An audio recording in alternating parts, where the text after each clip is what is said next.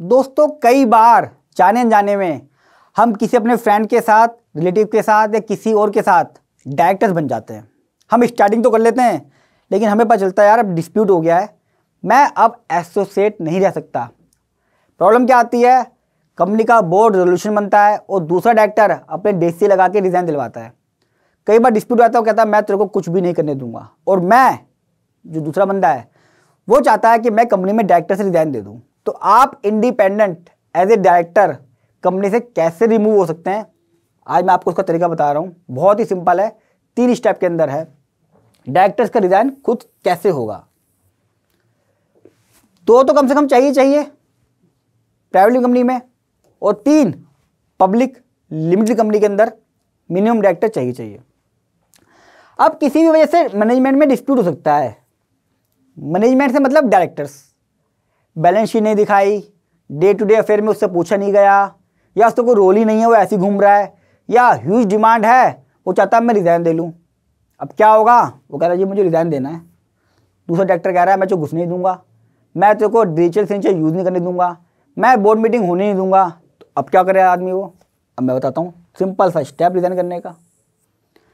मान लीजिए सचिन एक कंपनी में डायरेक्टर था डिस्प्यूट हो गया, अब वो चाहता है से निकल जाए। लेकिन डिस्प्यूट है, उसके अंदर घुसने नहीं दिया जा रहा। अब क्या करेगा वो?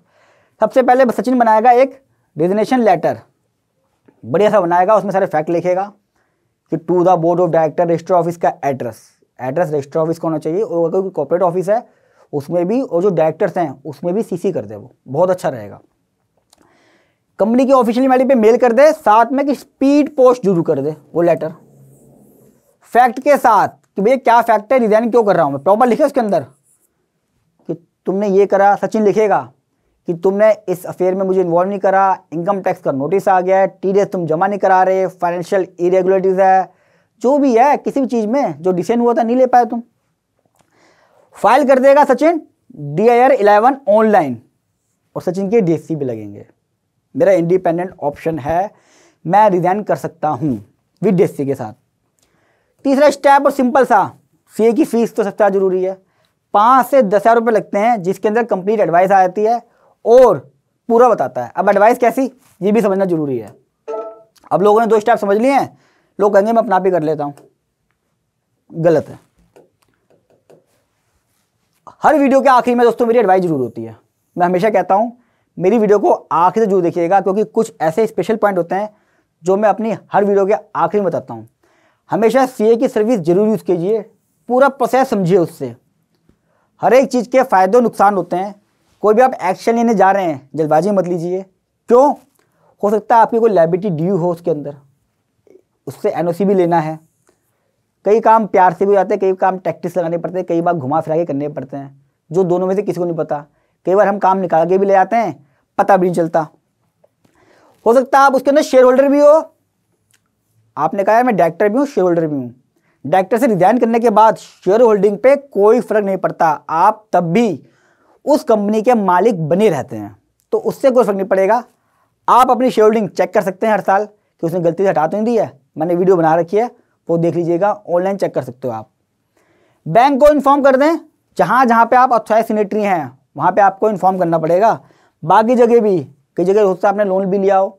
तो बता दीजिए कि भैया मेरी लाइबिलिटी जो है मैं रिजाइन कर चुका हूँ। इस डेट तक है। इसके बाद मेरे सिग्नेचर या अथॉराइज सिनेटरी के बिहार पे कोई भी काम नहीं होगा। अगर होगा भी आई एम नॉट रिस्पॉन्सिबल लोग क्या करते हैं? ऐसे ही कर देते हैं कैजुअल वे में। तभी मैं कहता हूँ सी की सर्विस वो आपको पूरी बात बताएगा। छोटे छोटे पॉइंट ध्यान रखिएगा। तो वो होगा या नहीं होगा, अलग मैटर है। पर हमें कम से कम कैजुअल अप्रोच नहीं रखनी चाहिए। इतना बड़ा हम एक्शन नहीं जा रहे हैं। पांचवा और मोस्ट इंपॉर्टेंट म्यूचुअल सेटलमेंट करें। प्यार।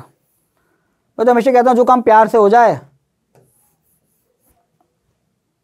वो सबसे अच्छा है। डिस्कस करिए बैठ के। मुझे प्रॉब्लम्स है। मैं रिजाइन देना चाहता हूँ। मुझे इस कंपनी से बाहर निकाल दीजिए। क्यों? मैं क्यों कह रहा हूँ ये बात? किसी कंपनी में अगर दो डायरेक्टर हैं, ये दूसरे के लिए बड़ा इंपॉर्टेंट है, या तीन है।